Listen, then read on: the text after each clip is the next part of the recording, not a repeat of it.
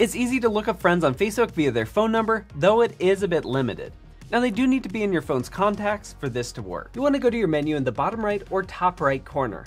Scroll down and tap Settings and Privacy, then Settings. Tap Meta Account Center, then Your Information and Permission, tap Upload Contacts, then choose your Facebook account. Flip the toggle to On. If you want to go through this process again in the future, you can just flip the toggle off, then on again. About 20% of my friends can be found via their contact info, so this will only work for certain people. Tap Continue. Now for me, it says no matches found.